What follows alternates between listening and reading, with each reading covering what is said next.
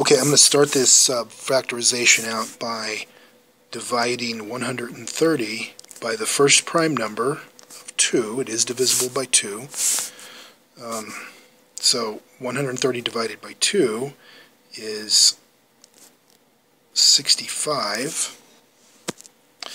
Now, 65 is not divisible by 2 it's not divisible by the next prime number, which is 3. And the reason I know it's not divisible by 3 is if you take the two, the two digits that make up 65 and you add those two digits together, you get 11. And since this is not divisible by uh, 3, then neither is 65. So then we go to the next prime number, and that would be 5.